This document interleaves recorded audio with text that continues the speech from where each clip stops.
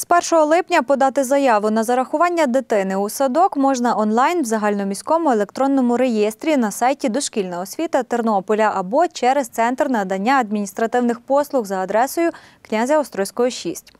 Ця е, зміна була внесена з метою більшої прозорості щодо формування черги, мінімізації людського фактора, тобто для того, щоб люди могли спокійно підійти, зареєструватися. В управлінні освіти і науки запевняють, якщо батьки потребують консультацій по підбору садочка чи додаткової інформації, то таку їм нададуть. Надано телефон працівникам центру адміністративних послуг, які, якщо є така необхідність, чим потрібно зразу та телефонувати, уточнити, в який заклад мама хоче, бо не раз батьки не знають, де той заклад. Вони можуть знати тільки назву закладу чи приблизно де воно знаходиться.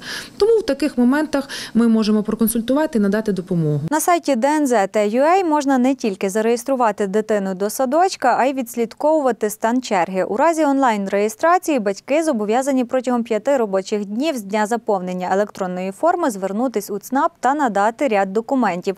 Ознайомитись з переліком необхідних документів можна на сайті Тернопільського центру надання адміністративних послуг.